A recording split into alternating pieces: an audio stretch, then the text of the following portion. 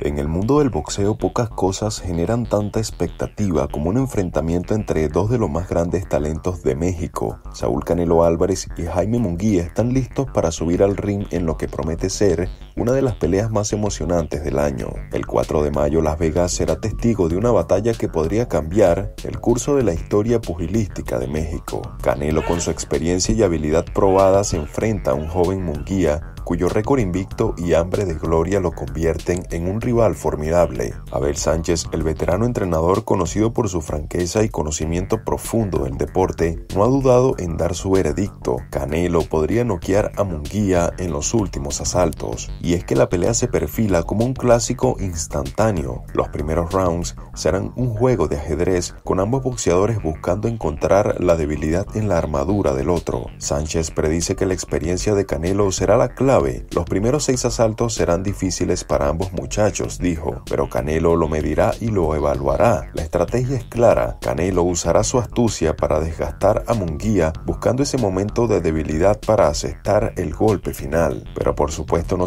subestimemos a Munguía. A pesar de ser solo su segunda pelea bajo la tutela de Freddy Roach, el joven tiene la fuerza y la valentía de un león. El propio Abel Sánchez admite que los primeros asaltos serán complicados para Canelo. Munguía es un guerrero y si hay algo que sabemos de los guerreros es que nunca se rinde sin luchar. La pelea también es un choque de estilos. Canelo es el maestro técnico, contra Munguía el poderoso noqueador. ¿Podrá la técnica superar la fuerza bruta o veremos al joven desafiar las probabilidades y tomar la corona del rey? Lo que es seguro es que el MGM Grand de Las Vegas estará lleno hasta los topes. Los fanáticos del boxeo de todo el mundo estarán pegados a sus pantallas esperando ver si la predicción de Sánchez se hace realidad. Por supuesto, no es para menos. La última vez que Canelo enfrentó a otro mexicano fue Julio César Chávez Jr. y nos dejó un espectáculo para recordar, aunque lamentablemente su oponente no haya querido ir a la guerra. Pero esta vez hay más en juego. No solo es una pelea entre compatriotas, es una pelea por los cuatro cinturones de la división de las 168 libras.